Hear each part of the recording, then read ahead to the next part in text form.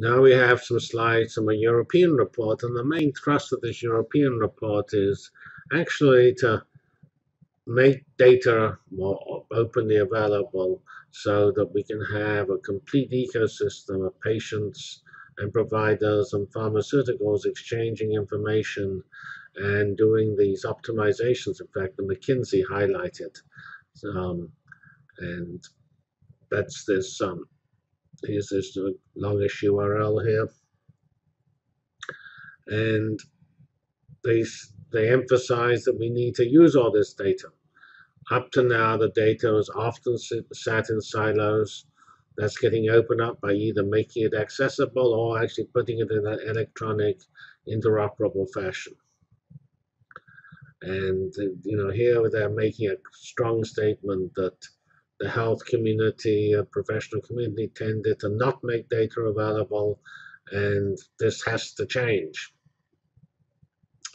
And also that something we've seen before. This is there are a lot of stakeholders or actors in this field. And we need to remove this division between official medical data and other sources of health information coming from people's smartphones and jogging monitors and things like that. And then we need to decide how we use this information, and we need to make rules that actually allow it to be used rather than all hidden and, and kept uh, secret for pr privacy reasons. And they, they're urging various um, um, uh, things like certification of applications that do, do preserve privacy and things like that. And here we have this uh, recurring theme, which we'll see that they are sort of demanding that um, the health institutions tell you how they do, what how they spend them, them the money, and what types of things they do, what their success rate is, and things like that.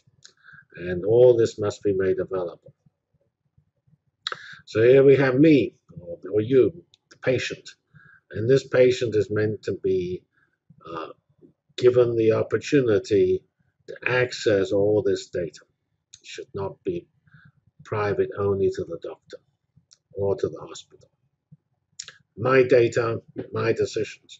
So in the DIKW, it is my data linked to other people's data that leads to my decisions at the top after we get our wisdom. So here's this uh, plea to liberate the data. And there's this nice comment here that data can be compared to oil in the ground. Because if it's uh, unusable and worthless in that state, however, you can extract the data from the ground and refine it. That's the that's using clouds to run data analytics. And then it has huge value. And so they're just pleading to get the data out of the ground, put it in the clouds, and run those analytic programs.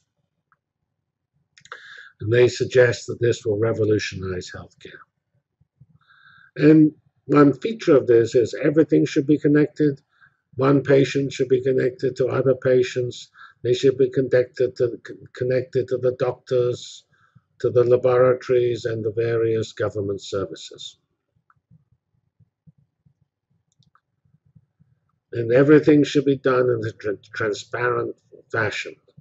And um, this this is this concept of full transparency, and we're meant to be armed with the performance of um, information about the performance of health professionals and institutions, how they differ, and then we're allowed to make informed decisions about what we want to do and where we want to do it.